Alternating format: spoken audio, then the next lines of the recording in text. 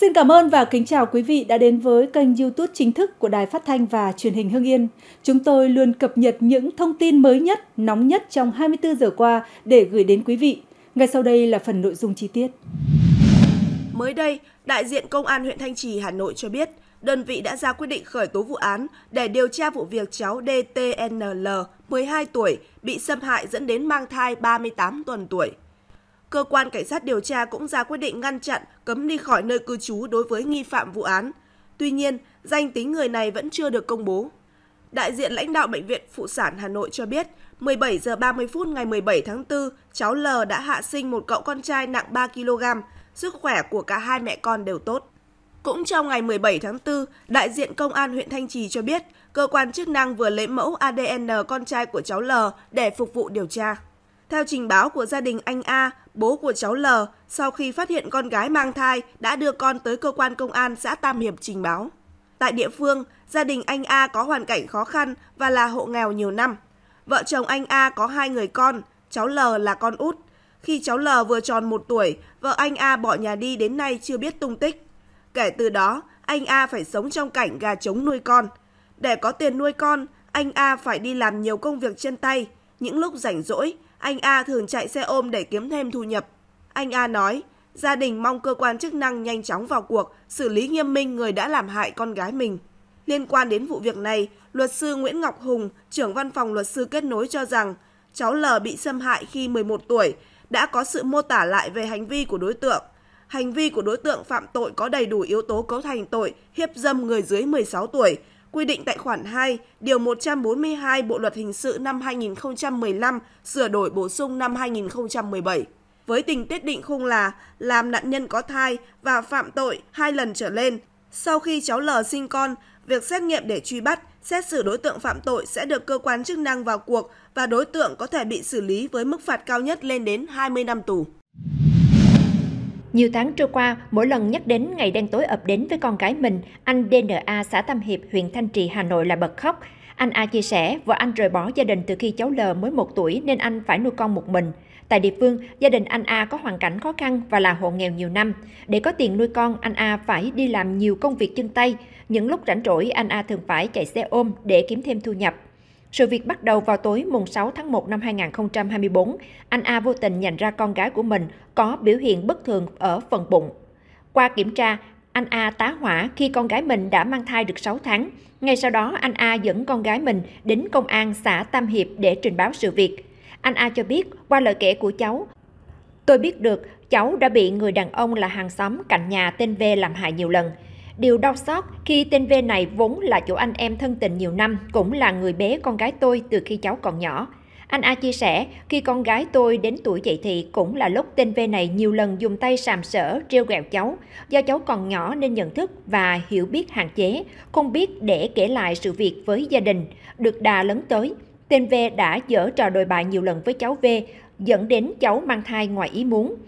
Khi trình báo sự việc đến công an và chính quyền địa phương, lực lượng chức năng đã nhanh chóng thụ lý hồ sơ và hứa là giải quyết nghiêm theo quy định pháp luật. Nhưng đã 3 tháng trôi qua, cái thai trong bụng con gái tôi ngày càng lớn dần lên. Đã 38 tuần tuổi rồi. Trong khi đối tượng V vẫn nhẫn nhơ ngoài vòng pháp luật, hắn chỉ thừa nhận có hành vi sàm sỡ con gái tôi và chối bỏ cái thai đó, đổ tội cho con gái tôi có thai với người khác. Anh A khẳng định con gái của anh vừa bước vào tuổi dậy thì, chưa hề có bạn trai, chưa có người yêu, cháu rất ngoan ngoài trừ việc đến trường đi học, tất cả thời gian còn lại đều ở nhà phụ giúp việc cho gia đình. Tại cơ quan công an, cháu L cũng khai rõ tên V là người đã làm cháu mang thai. Ngoài ra, cháu L không qua lại với bất kỳ ai. Chiều ngày 17 tháng 4, anh A đã đưa con gái mình đến Bệnh viện Phụ sản Hà Nội để mổ sinh con theo chỉ định của bác sĩ và chính giây phút này ở vai trò và trách nhiệm của một người cha, anh A đau đớn dằn vặt trước quyết định về sự sống cho cái thai trong bụng con gái mình. Anh A lo lắng nếu giữ lại cái thai sau này lớn lên, không biết con gái mình và cháu mình sẽ đối mặt ra sao với cuộc sống hiện tại, khi bố của đứa trẻ đã từ chối nó ngay khi còn trong trứng nước bà anh sẽ nuôi dạy cháu ra sao khi hoàn cảnh gia đình quá khó khăn, người mẹ trẻ không có kiến thức để nuôi con. Anh A rơi nước mắt trong sự tuyệt vọng. Nhưng nếu từ bỏ mạng sống của thai nhi, sau này tôi phải đối diện với con gái tôi ra sao? Tôi không nỡ nhẫn tâm làm vậy. Cầm trên tay những tờ giấy khám bệnh và kết quả siêu âm, anh A nói trong vẻ mặt thất thần. Từ khi biết chuyện, tôi không nhìn mặt kẻ hãm hại con tôi nữa. Tôi sợ mình không đủ bình tĩnh khi đối diện với kẻ ác. Mới đây, Cơ quan Cảnh sát điều tra Công an tỉnh An Giang thông tin đơn vị đang tạm giữ hình sự Nguyễn Văn Phương, sinh năm 1989, chú ấp Phú An 1, xã Bình Hòa, huyện Châu Thành, tỉnh An Giang để điều tra về hành vi giết người. Khoảng 13 giờ 30 phút ngày 16 tháng 4, Phương mua rượu và mồi mang về nhà ngồi nhậu một mình. Cậu ruột Phương là ông Lê Văn Trinh, 66 tuổi, từ nhà bên cạnh bước sang đứng trước nhà mắng người cháu vì cứ ăn nhậu tối ngày không lo làm việc. Bực tức, Phương đi ra mé kênh trước nhà lấy bình hoa bằng sành đến đánh nhiều cái vào đầu của ông Trinh, khiến nạn nhân ngã xuống nền đất.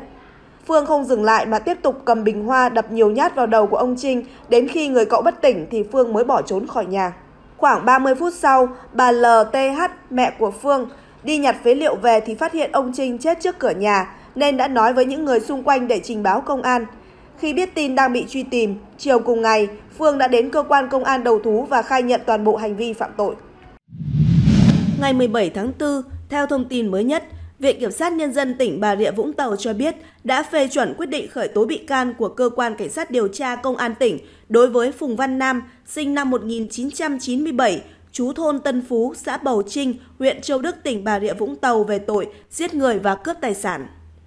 Theo hồ sơ vụ án, vào lúc 23 giờ 42 phút ngày 21 tháng 10 năm 2023, Phùng Văn Nam, sinh năm 1997, chú thôn Tân Phú, xã Bầu Trinh, huyện Châu Đức, tỉnh Bà Rịa Vũng Tàu, gọi điện thoại cho ông Hồ Thanh Dũng, sinh năm 1966, thường trú tỉnh Hậu Giang, chỗ ở khu phố Hải Sơn, thị trấn Long Hải, huyện Long Điền, tỉnh Bà Rịa Vũng Tàu, xin phép cho Nam qua ngủ nhờ và được ông Dũng đồng ý. Khoảng 0 giờ ngày 22 tháng 10 năm 2023, Nam đến phòng trọ của ông Dũng. Khi Nam nằm trên nền nhà để xem điện thoại di động, thì ông Dũng ngồi phía sau, sờ vào vùng kín của Nam. Nam giật mình hỏi, chú làm gì vậy? Đồng thời Nam ngồi dậy. Sau đó, ông Dũng tiếp tục luồn tay vào trong áo sờ vào người của Nam, thì Nam đứng dậy hất tay ông Dũng ra. Tức giận vì bị ông Dũng sờ vào người, Nam dùng chân đá vào bình nước gần đó làm bình nước đổ gây ướt chân của Nam. Nam đi vào nhà vệ sinh, vừa rửa chân vừa chửi ông Dũng. Vì vẫn còn tức giận và khi đi ra, thấy ông Dũng ngồi quay mặt ra cửa, Nam đi từ phía sau ông Dũng và dùng tay siết chặt cổ khiến nạn nhân bất tỉnh. Nghĩ là mình đã giết chết ông Dũng, nên để che giấu hành vi phạm tội của mình, Nam đã ngụy tạo hiện trường việc ông Dũng chết là do tự quyên sinh, do điện giật. Đối tượng đến khu bếp cắt một đoạn dây điện, một đầu có phích điện, rồi đem phần đầu dây bị cắt đặt vào lòng bàn tay trái của ông Dũng. Tiếp đó, cắm phích điện vào ổ điện và khi thấy ông Dũng bị điện giật thì Nam bỏ đi. Trước khi đi, Nam mang theo hai điện thoại và một nhẫn vàng của nạn nhân mang đi bán lấy tiền tiêu xài. Sau khi điều tra, ngày 16 tháng 4 năm 2024, Cơ quan Cảnh sát điều tra Công an tỉnh Bà Rịa Vũng Tàu đã ra quyết định khởi tố bị can đối với Phùng Văn Nam theo hai tội danh trên. Kết quả khám nghiệm tử thi xác định ông Dũng chết do điện giật và trên cơ thể có tổn thương vùng cổ do chèn ép.